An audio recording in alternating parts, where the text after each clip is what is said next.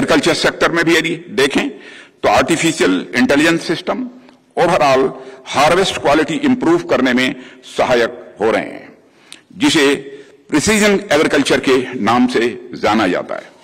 Artificial intelligence technology farms में plants में disease pest और पुअर न्यूट्रिशन डिटेक्ट करने में भी सहायक हो रही है।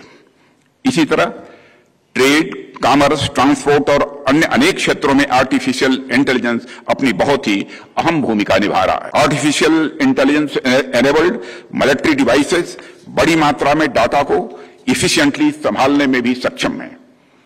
ट्रेनिंग और सिमुलेशन को भी आर्टिफिशियल इंटेलिजेंस के प्रयोग से बेहतर बनाया जा रहा है।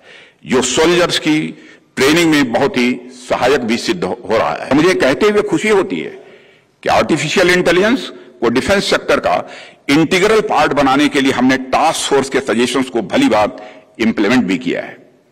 इसी क्रम में डिफेंस आर्टिफिशियल इंटेलिजेंस काउंसिल और defence artificial intelligence project agency का गठन भी किया गया है। कोई और देश आकर भारत पर राज करने की न सोचने लगे, इसके लिए हमें अपनी आर्टिफिशियल इंटेलिजेंस टेक्नोलॉजी की कैपेसिटी डेवलप करनी ही पड़ेगी। दुरुपयोग किसी भी सूरत में नहीं होना चाहिए, यह मैं कहना चाहता हूँ।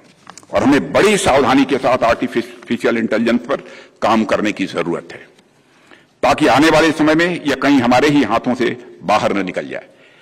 हमें इसका प्रयोग मानवता के कल्याण, विकास और शांति के लिए करना।